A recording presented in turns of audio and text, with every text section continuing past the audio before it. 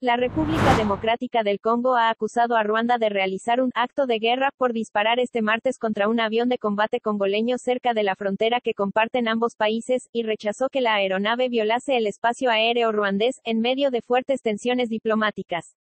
El gobierno de la República Democrática del Congo considera que este enésimo ataque contra Ruanda es un acto deliberado de agresión que equivale a un acto de guerra, señalaron las autoridades congoleñas en un comunicado emitido a última hora del martes.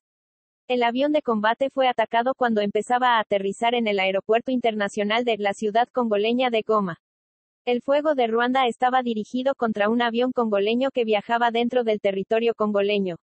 Nunca voló sobre el espacio aéreo ruandés, añadieron. Así, Kinshasa rechazó las acusaciones de Kigali, que este martes confirmó haber tomado medidas defensivas contra una aeronave del ejército congoleño por supuestamente haber violado el espacio aéreo ruandés.